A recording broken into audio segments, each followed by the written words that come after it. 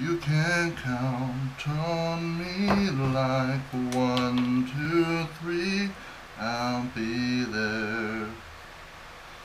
And I know when I need it, I can count on you like four, three, two, you'll be there.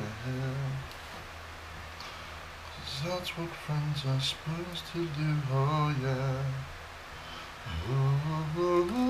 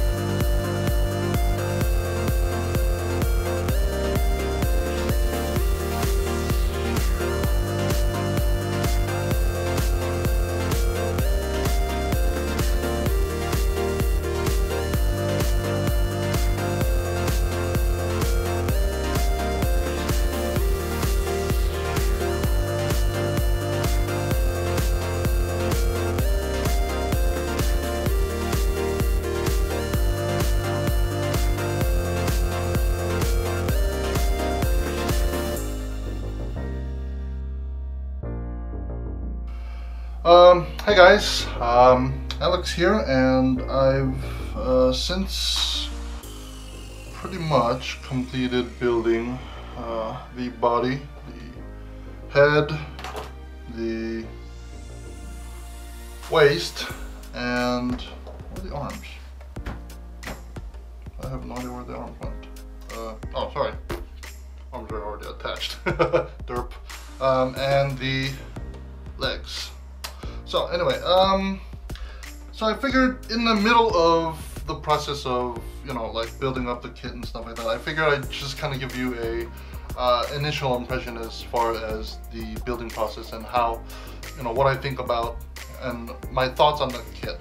Um, as far as the, you know, like the runners and, you know, uh, the quality of the parts, they're actually not that bad. Um, however, I did run into a couple of issues where there was just, you know, a little bit of flash and to be honest, uh, the process of me putting together this kit has been a lot longer because of the fact that I'm I'm pretty much using my freaking uh, my sanding stick the whole time. Um, this is just a, a Wave uh, HT263 800 grit uh, sanding stick.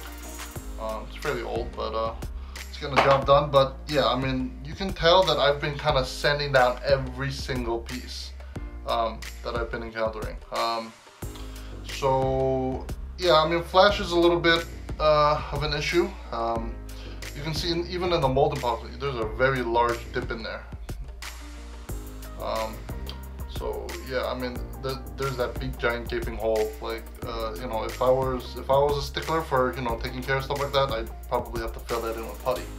So um, so yeah, I mean, it's it's common. It's almost everywhere, even on the back of the shoulder piece.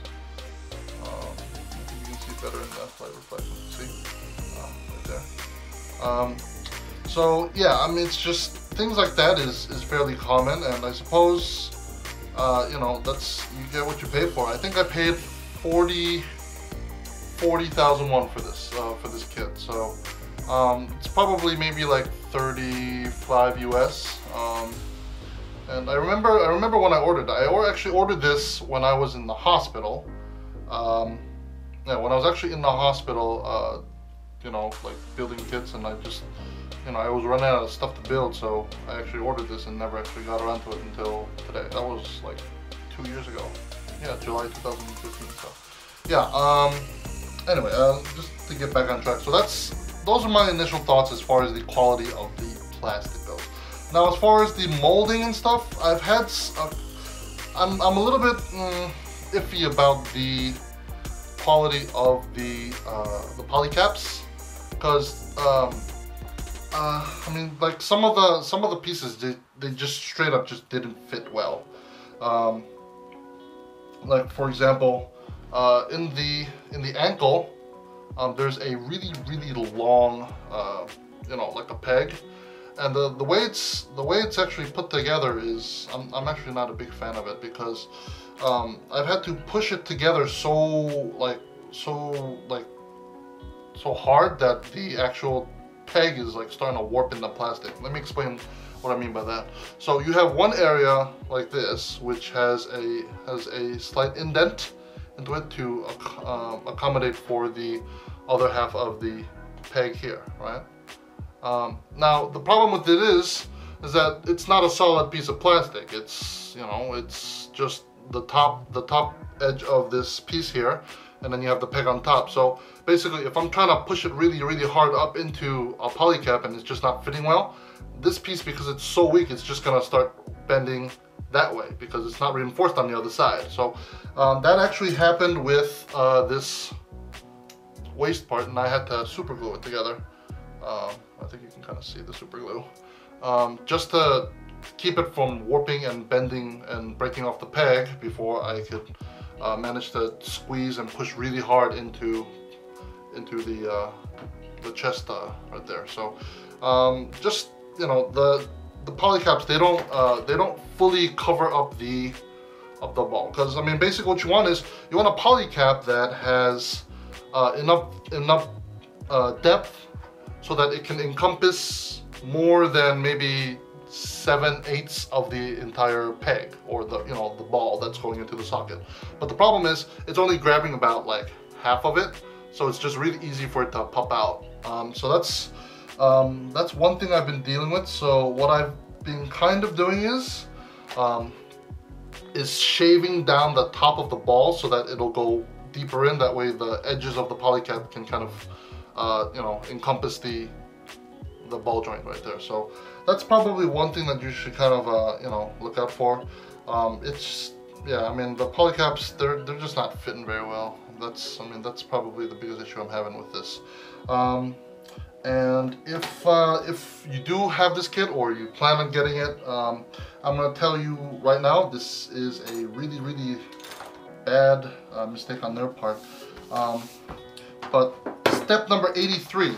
Um, uh, excuse me about the the pen. I, I I mark all the pieces that I actually finished putting together. But step 83, there is a part which is going to be C25 on the runner, which is basically the uh, you know, the T, the T-shaped uh, joint to attach the two legs onto the, you know, the intersection that'll go up into the uh, the waist part. But basically, this peg that goes into the bottom of the waist unit, right in, into into there, um, the peg was just molded way too big. So I had to I had to straight up take a file to this thing and shave it down a considerable amount. So just uh, keep that in mind.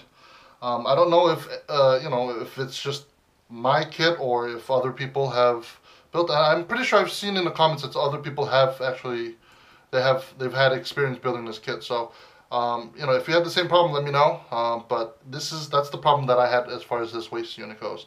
Um, I haven't started putting together any of the uh, the armor parts or anything like that um, because I just want to get the frame together and I want to just paint the frame and then do all the armor parts uh, separately because they're just they're gonna get painted anyway. So um, that's the deal as far as uh, you know the process of this kit goes so far. I've um, I've made it up to step number what is it like 80 84. Um, basically just finished the inner frame and um, and then we have, you know, like the weapons and stuff like that continuing on, as well as the the stand that's left. So um, I'm pretty much done. I've only got, as far as the manual goes, uh, one, two, three, four, but these are all like stuff that's, you know, like superficial.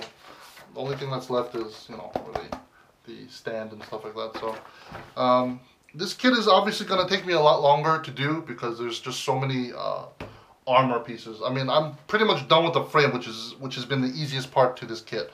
But I still have a plethora of armor pieces to go. I mean, this this whole stack, that whole stack, that whole stack back there. Um, so yeah, I mean, uh, got a lot of work to do. But one good thing, or one thing that I'm actually pretty impressed about, is the fact that the panel lines on this kit are phenomenal. Um, there's a lot of detail on each of these kits, uh, the like the armor panels and stuff like that. There's a lot of like already, uh, you know, carved out uh, like panel lines and stuff like that as well. So I'm pretty, I'm actually pretty impressed with uh, with how the uh, you know with the panel lines and everything that's inside this kit. Um, let me give you another example. It's just, yeah, I mean, you probably would wouldn't have to do much in order to, um, you know, kind of like, uh, you know, detail it up and stuff as far as like, uh, you know, panel lines and, uh, you know, detailing goes. Because they're pretty well panel paneled. Um, that's a really good example of pretty good panel lining right there. Uh, let's see if we can catch the light. But yeah. So, anyway, um, that's my update as far as this uh, first initial work in progress goes. Um, I'm probably going to be, uh, you snapping a little bit more and maybe start a little bit uh, processing the uh, some of the armor parts and stuff like that that I have to get around to. Um, again, I think I think my reasons for being a little bit daunted by this kit are justified, and the fact that I know it's gonna take me a long time to finish this kit, but um, it's okay, you know. Um, it'll just it'll give me something to do. Um, I just hope I don't kind of get like burnt out by you know, like all the disappointment and like the quality, but it's not bad. Um, I've heard worse things about some uh, mechanic Mechanicore part uh, kits as well as a lot of Daban kits.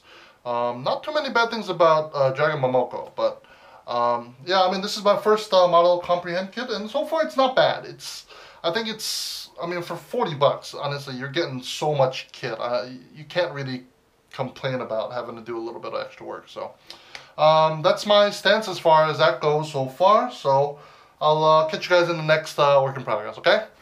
Bye.